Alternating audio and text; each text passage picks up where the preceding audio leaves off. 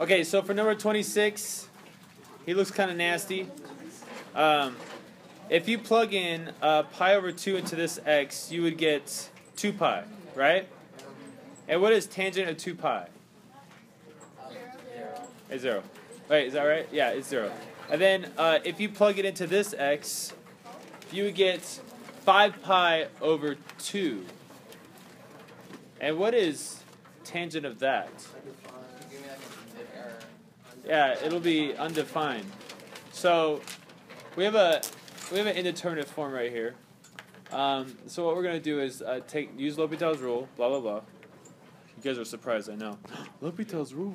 Okay, we have limit as uh, x approaches pi over two.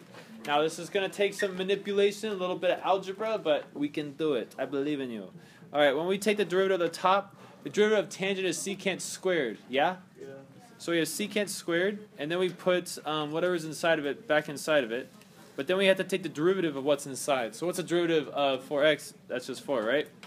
So we do the same uh, process for the bottom. We're going to get 5 secant squared um, with a 5x. Okay, now I'm going to change something though. I'm not going to I'm going to stop writing the squared like that. We're going to put the squared on the outside of it. So we're going to put the squared right there and right there because it does start working out nicer if we do it that way. Um, most don't like secant, so we can change that. Uh, I mean, if you're just trying to do this in your head and try to figure out what um, what you're going to get when you plug in pi over 2, uh, most don't like secant. So let's uh, let's change secant to cosine. That's how they did it in the solutions guide too, even though they're wrong. Um, that part was correct. So we have the limit as x approaches pi over 2, and then we're going to replace secant with 1 over cosine. You guys down with that? Okay. Uh, if you guys are talking and not paying attention, that's cool. Just uh, make sure you do it really quietly so I can't hear you. All right, 1 over cosine, what is that? 4 over 4x. And this is being squared. Because um, because secant is being squared. The other one is 1 over cosine 5x squared. Okay, now this looks kind of weird. Uh, first of all, we could put this 4 right here, and we could put this 5 right here. It still looks weird. We have fractions inside of fractions. And so let's uh, take the top fraction and multiply it by the reciprocal of the bottom. So we have 4 times uh, cosine of 4x squared times cosine of 5x squared over 5. So that's the reciprocal denominator. So what do we get? We get 4 cosine 5x cosine of 5x squared. Now on the bottom we have 5 cosine of 4x squared. So don't forget what we're doing. I, for, I stopped writing the limit, but we can pretend the limit's right there. We're taking the limit as x approaches pi over 2. So we plug in pi over 2. You guys ready for this? So what is cosine of 5 pi over 2? Because when I multiply pi over 2 to this, I'm going to get cosine of 5 pi over 2. Now I'm going to have to square that and multiply it by 4.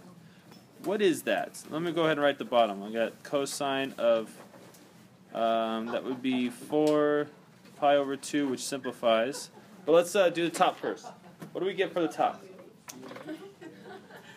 Now, 5 pi over 2 would take us all the way around once, and then half of a pi, right? So, what is cosine of a point right there? Zero. So this is zero. Zero squared is zero times four is zero. So we have zero over now, if I get a zero on the bottom, that means we're going to have to do L'Hopital's rule again, so I'm really crossing my fingers, hoping that I don't get a zero on the bottom. I get a 1. You're right.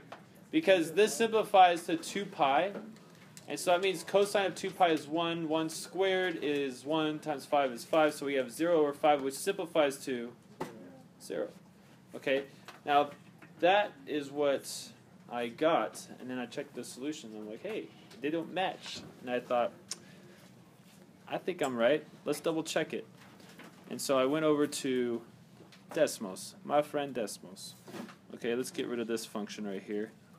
Um, this function is, what was it, tangent, right? Tangent of 4x. tangent 4x, over tangent 5.